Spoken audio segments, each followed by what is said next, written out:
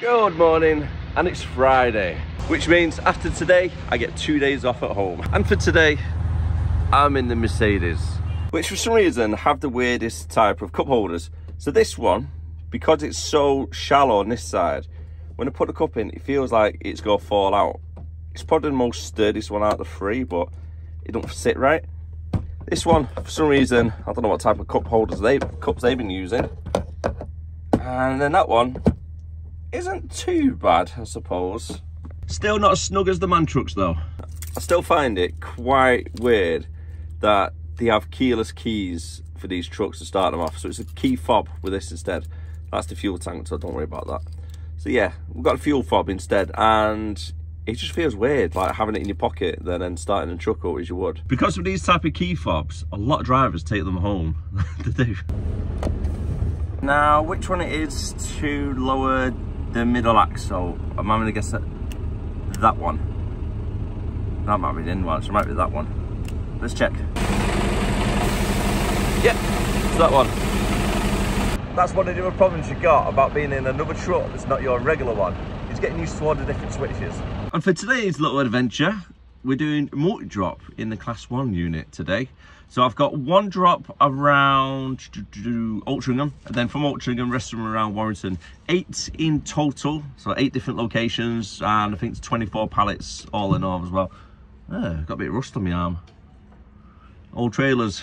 For today, you're going to see a little bit of what it's like as a multi-drop class one driver. A little bit of a tip as well, if you've never done HGV driving before and you just pass your test and you do multi-drops as a job, so a little bit of a tip for you on this one. When you get your run sheet in the morning, it'll be something similar layout to this. So on the left-hand side, you normally get the address of the company you're delivering to. So I'm just making these up for purpose of this. So for an example, got Amazon, Tesco, Asda, Costco, etc. on the left-hand side. And then the right-hand side would normally say how many pallets you got delivering to Amazon and then more details about the pallet. But when you're doing your checks and securing your load, if you go around and then you see where the pallets are on the back of your trailer, and then you just put like passenger side, and then the Tesco one is on the driver side. Asda, I've got two on the driver side, uh, two driver. And then Costco, I've got one passenger, and then I've got one, or then I've got two on the driver side. So that's the three pallets, etc. So when you pull up at Amazon, you know you've got one pallet and it's on the passenger side. When you go Tesco's, it's on the driver side. When it's at Asda, you got two on the driver side. Costco, one on passenger and then two on the driver side. Now, the reason why you want to do this is because when you pull up to the jobs, you don't want to be doing up your passenger side curtain, find out the pallet's not there, and then you got to close it all, do all your straps, and then open up the driver's side, and you go, right, okay, whereabouts is it? So, a little bit of a tip for you. And if you're in a double decks, just put like PT, so it's like passenger top deck, or PTM, so like passenger top deck middle, so then you know whereabouts they are when you arrive at the jobs. Something little for you. So if the camera's a little bit more shakier than usual at the moment, it's the angle that I've, I've got it on, I've got a, like a little bracket holding onto the, one of the arm holders. Obviously not in my own truck, I've not got the normal brackets up. So apologies about that one in, in advance. Hopefully it's not too bad. It, has, it does have anti-shake on it as well, built in. So hopefully it should stabilise it that little bit more for you. Just feel weird when you're driving a different truck. But on a good note though, looking through the list, I know exactly where every single business is. So I don't need sat nav for today. That's quite good. One less thing to mess about with. Job one over at Altrincham, done. And before I forget, quick shout out to Dean. Thank you very much, mate. He's one of our subscribers and I seen him the other day in St. Helens give us a little bit of flash and thumbs up. So cheers, dude. Some of the eagle-eyed viewers might have noticed I've got a little bit of a swelling on this side of my cheek. Um, that is because, I do think it is because, uh, I bit the inside of my cheek the other night. I don't know, I must have done it in sleep or something. But I've got a bit of a, like an ulcer now where it is, so it's a little bit swollen up from it. And yeah, it's a little bit of a pain in the backside of right now. But on another note, I definitely need to get this hair cut over the weekend. Sunday, I think I'll probably I'll do it. Saturday, quite a busy day on Saturday. But enough about my hair and my cheek. Let's get on with our journey and our next job is over at Great Sankey. Two of them are pretty much in the same yard, so nice and easy. First one's to be one pallet off, collecting five pallets, and then the second one is to be one pallet getting took off. Let's go around all these little bits.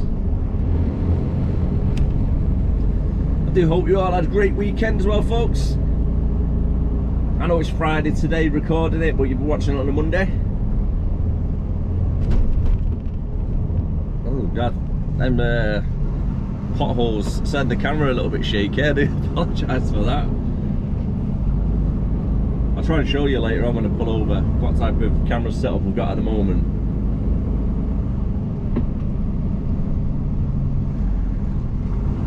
But to get to Sankey where I'm at at the moment in Altrincham is jumping straight down the M56, up the M6, onto the M62 and then coming off by the Omega site. A little bit near Ikea and then I'll cut through the back roads there shouldn't really be too bad this time of day. Um, the time at the moment is 10 a.m. So we've got plenty of time to do all these. And fingers crossed for a good early finish today. Say early finish, anywhere between five and six. Feels a little bit weird as well. I feel quite refreshed today. Nice little lie-in. Didn't start until 8 a.m. this morning which is uh, a nice difference considering I started at 3 a.m. on the Monday morning or was it 4 a.m. I can't remember, 3 or 4 I lose track of days, I really do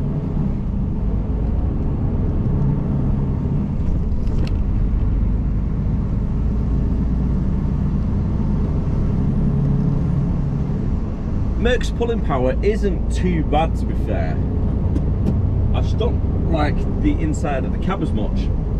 I don't think it's as good, or as, well, it's a lot smaller and cramped up than the Man's. That's definitely for sure. But I do prefer the MAN. But the pulling power is not too bad, and the turn, turning circle is alright. So I can't be too harsh on them. Last time I did drive the Mercs, I was a little bit harsh on it, I'm not gonna lie. I think I was a little bit too critique of it but once you get used to them, they're not that bad. But personally, I wouldn't pick one over a MAN. Coming off now at the M62. Uh, I can't remember what junction it was I actually came off at.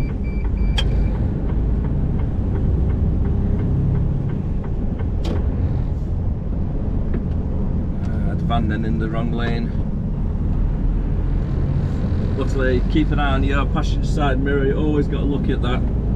So seeing the van, he was in the lane to go down towards Ikea, but then he's indicated last second and carried on driving forward, so near went to the side of the trailer.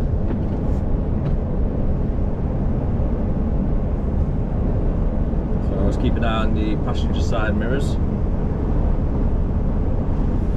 Managed to just slow down a little bit for him so didn't get caught with a trailer.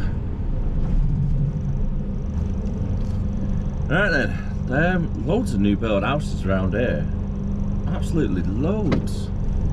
It's been a while since I've come down this little section.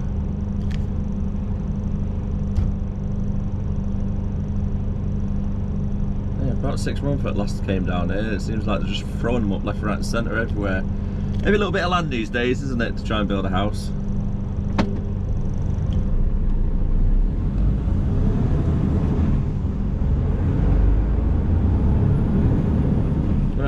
Of the Amazon sites. I think expensive as well. I bet they are.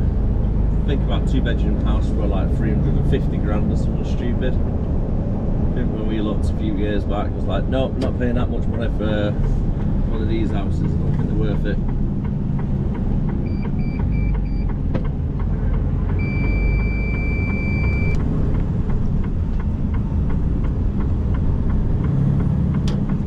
If you wonder what that beeping is, by the way, it's some of the sensors what on the left hand side. So, for example, if anything gets a little bit close to like the trailer or the cab, it'll just give it like a little beep, but it's a little bit oversensitive in this truck. It's always on the left hand turn as well, off. picks up like the lampposts and stuff on the side of the road. Good little feature to have though.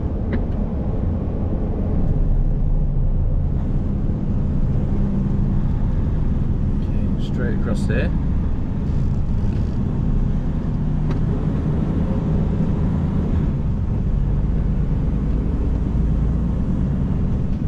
I thought something was coming out the back of that there. I've seen a bit of steam cloud coming out. I think it's one of the um, what would you call it? It's like a cauldron type, isn't it? For tarmac, just keeps it nice and warm.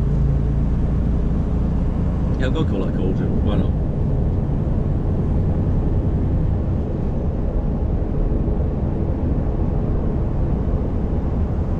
Not too far off now, only about a mile or two.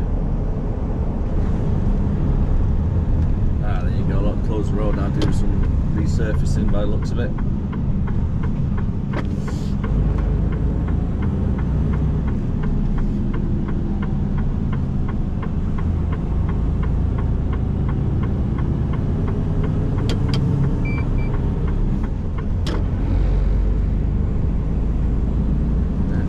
straight down all these roundabouts.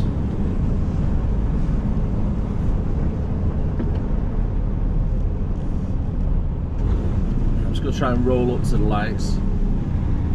In theory, you want to try and not actually stop the truck in its movements. So if you come to a standstill and then it's a little bit harder then to set off.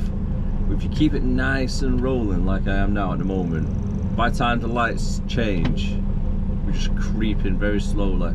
Hopefully it'll change in a second. No, no, no, no, no. No, I've missed it. well, you get the drift, don't you? So when you set off again, if you're rolling at that slight little bit, it's easier to accelerate then for the truck.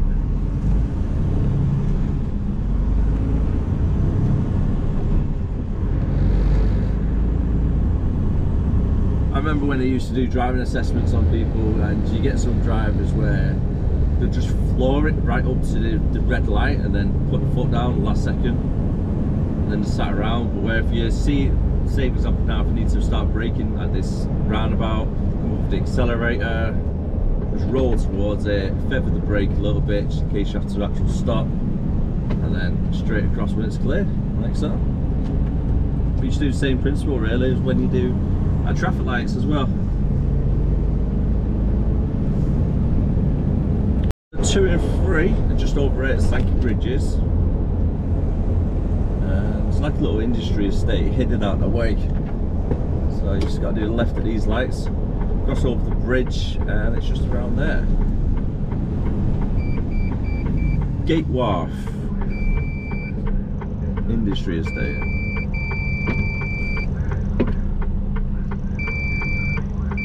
It's really annoying that beeping noise, isn't it?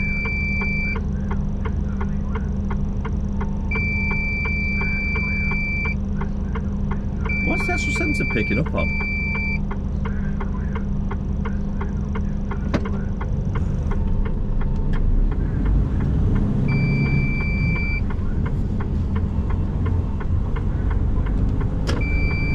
Ah, Mercedes trucks. They're annoying.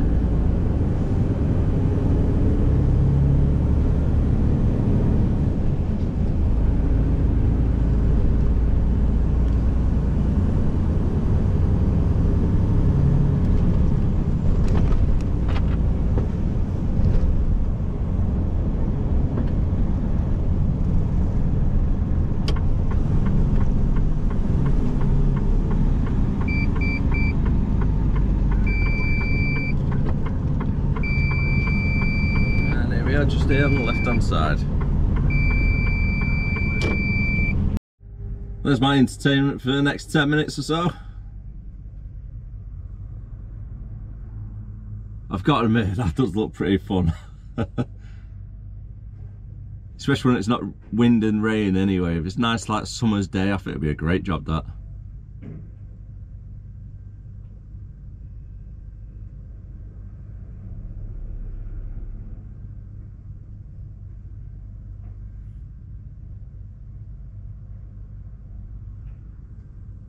Yeah, it is pretty cool.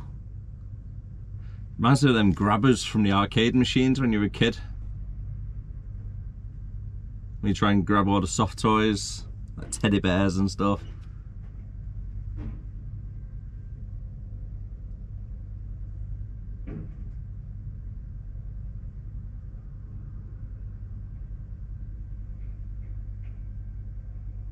Makes it look easy, doesn't it?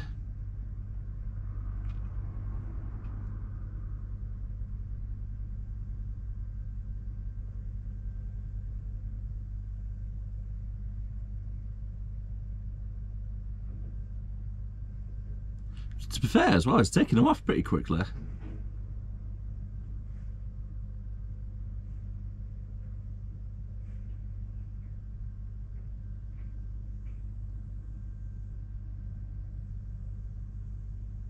Which one's he going for? Is he going for the end one? Yeah.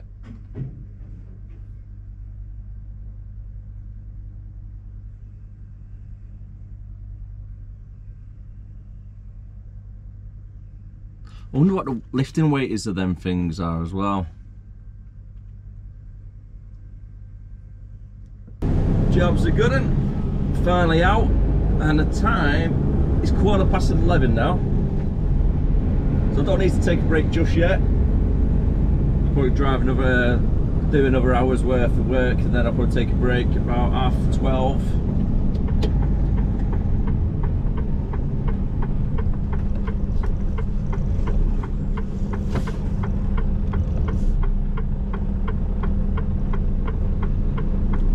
Going over to Westbrook now back to the Westbrook Boulevard, or Europa Boulevard, shall I say.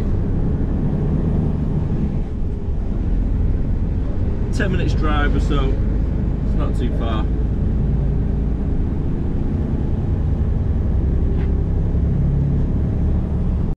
On to the next one.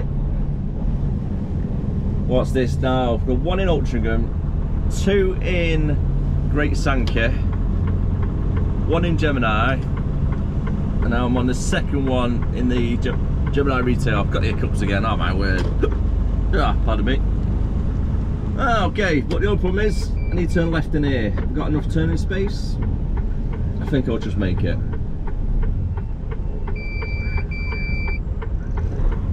Yeah, just about. Just got to take it easy make sure the trail doesn't cut the corner. And in we go. Because the forklift driver's on his break for another half hour I'm going to skip this one and I'll come back to it a little bit later on because I've got another two collect or two deliveries just around the corner.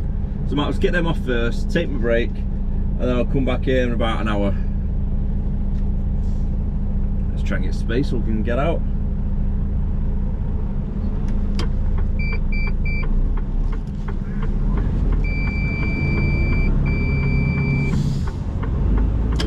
beeping.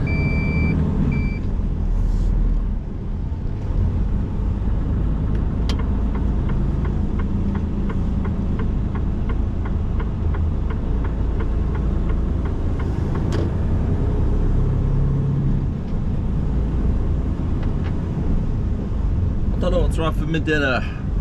There's a McDonald's there, so it's quite tempting. But I have bought a sandwich with me today. I've got some ham and piccalilli sandwiches and I've never tried piccalilli for the first time so yes I've never tried it before so it's gonna be the first time now. And yeah let's let's let's see how that goes. Let me know down below if you like piccalilli I'm just gonna let this lady cross with a pram. That's to stop all the traffic for her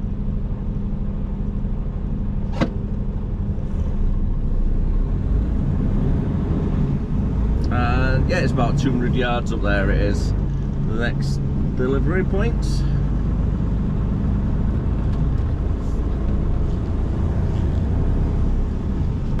That's them two done.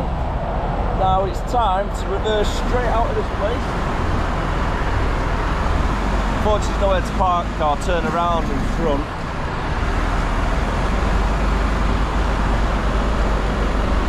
Keep an eye on the mirrors as well hopefully you can see but what you can see, that's what I can see out of my window right now. not a lot. Just got to take it nice and easy coming up to this junction. It is a dead end anyway, so if anybody's coming down, you've got to slow right down, to turn left or right into one of these little courtyards. So I don't need to worry about people speeding.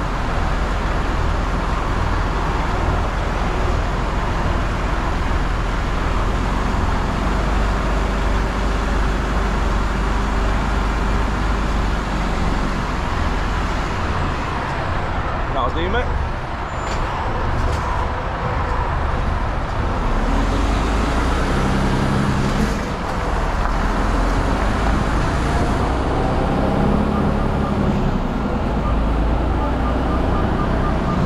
Because my next job's only about 100 yards away. I've got to keep it in this view.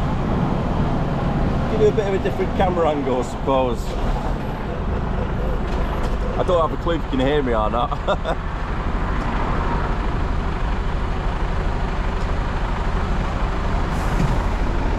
then I can get out.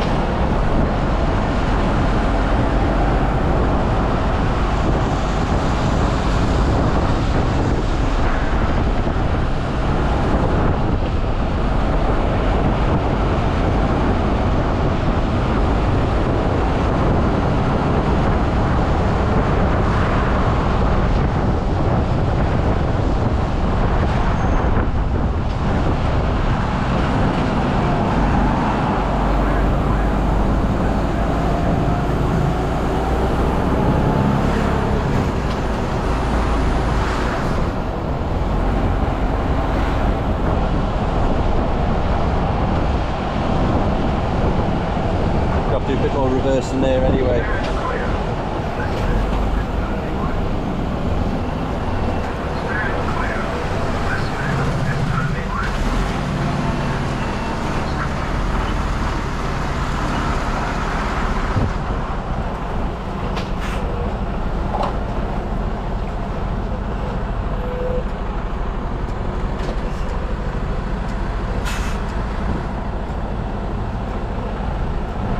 A parked on either side, you see, so I need to be a little careful with it.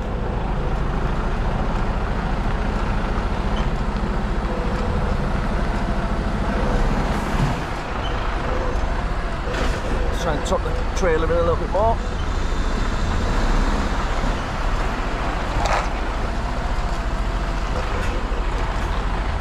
Use as much space as you can inside the yard.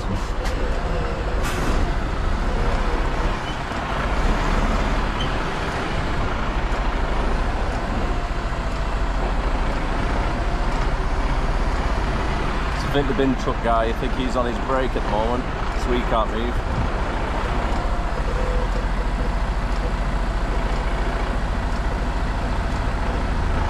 Take it nice and slow. Make sure I'm past that van. Yeah, perfect.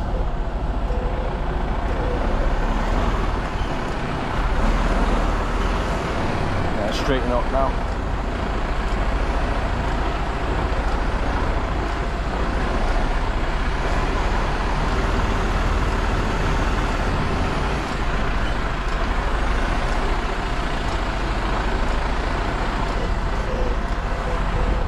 Do me there. There's enough space for him to get back. Loads of room on each side to do the loading. Job's a good one. So the reverse that you just seen me do, I came in from this gate here, I'd swing the trailer around, straighten it up, then tuck myself in and then snake it round. So I tried piccalilli, not really a big fan of it. So McDonald's, eh, here I come. Since that's the place I'm delivering to, I may as well. Yes please. Time is now 10 to 2 and I finished my break and we're going back to Rexall. Hopefully the forklift driver's not on a second break. get them pallets took off. Then I've got one more collection around this area as well we need to collect. And then I'm not too sure after that. Either small collections in the area or taking my truck, EXZ, over to MTC in Kirkby for its service. It's either one or the other. I'm not too sure what they want me doing. And because of my hours as well, I've worked all this week. I've got half, half uh, early finish. I say half an early finish because four o'clock, maybe four or five o'clock is probably the latest I can work. Five o'clock probably the latest. Started at eight o'clock today as well, so my hours aren't even that long today, which is good. I think we're trying to plan a four o'clock finish for me anyhow.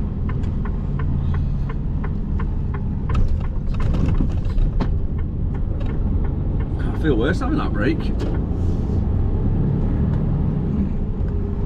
feel a little bit more tired when I've been sat around. Got a little bit more editing done, so it's not too bad. Always saves me a little bit of time, you see, when I get home tonight. If I'm a dinner break or if I get 15 minutes POA and stuff, do a bit of video, video editing and you know, it just helps it go that little bit quicker, doesn't it? So I spend more time with the family when I get home. So that's the secret about a quick turnaround when you're doing these vlogs. Yeah, do the editing when you can. Time is now half past two and just making my way back to the yard. And yeah, that is me done for the day.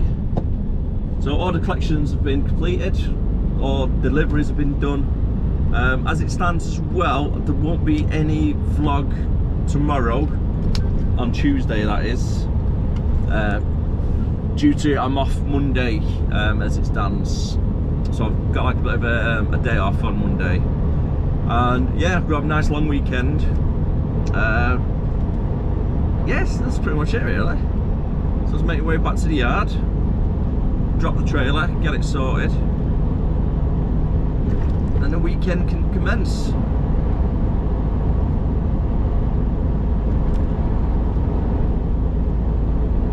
So I'm making my way back to Haydock to go cut through Newton-le-Willows. I'm hoping all the roadworks been done anyway.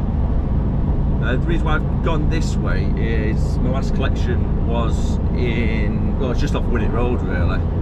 So it's just easy to go straight across the roundabout really instead of jumping on the M62 then going around the M6 northbound. It can be a little bit hit and miss as well on a Friday. So I might as well avoid that if possible.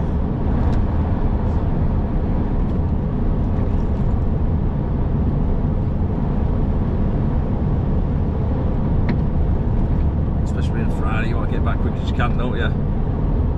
Um, 30 miles an hour down here, yep, it used to be 40.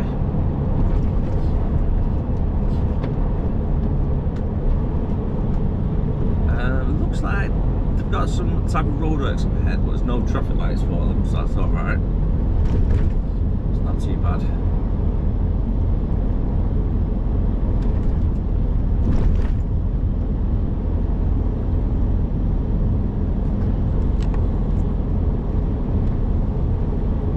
Again, I do apologise if it's uh, shaking quite a lot as well, the camera. So this is going to be a new cut through when that's done. Uh, that old building site we just drove past, it's going to be a new like, industry park. Um, it's meant to be really, really big. You can actually get to the M6 from where we are now, straight to it. So it's the junction for where Winnet Road is, the one before Haydock it joins up to that junction but on the other side of the motorway so it's got like a little bit of bridge that goes over the motorway and then there's going to be units on either side of the motorway as well. Will be quite good when it's all built. Plenty of new jobs and that available for you. So if you're in the area looking for jobs there'll be some built opening up shortly when they've finished building on there. So that'll probably be like two years time really wouldn't it realistically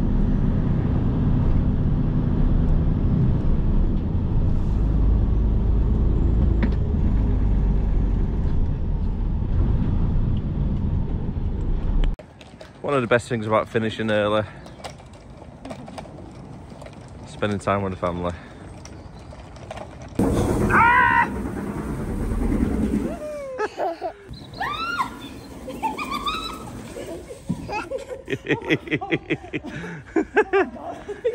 oh, like that, it's three o'clock and it's time for me to go home. So if you did enjoy the video, don't forget to like, comment, subscribe, and I'll see you again next time. As always, stay safe out there. Bye for now.